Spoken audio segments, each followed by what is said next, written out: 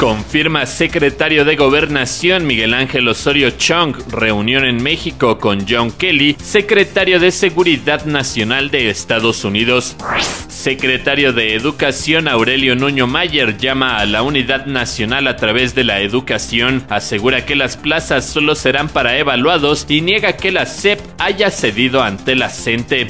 Empresa española Iberdrola comienza a vender energía en México al nuevo mercado eléctrico mayorista con la entrada en operación de su nueva central de ciclo combinado en Baja California. México encabeza la lista de aumento en la deuda pública en Latinoamérica, informa la Comisión Económica para América Latina y el Caribe. Donald Trump, presidente de los Estados Unidos, asegura que el muro fronterizo no es una broma e informa que se está diseñando ahora mismo.